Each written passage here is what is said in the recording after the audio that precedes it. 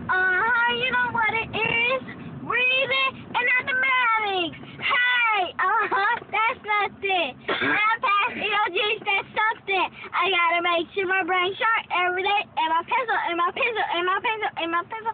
I gotta bring my best to the EOGs, and my pencil, and my pencil, and my pencil, and my pencil. Black tip, yellow paint.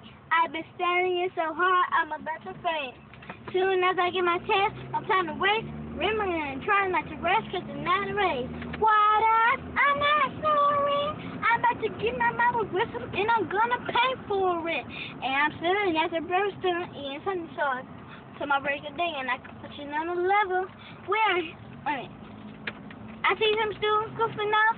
I gotta tell them we are here for learning, not another class on a level. Hmm. If you if you want to finish, you gotta start.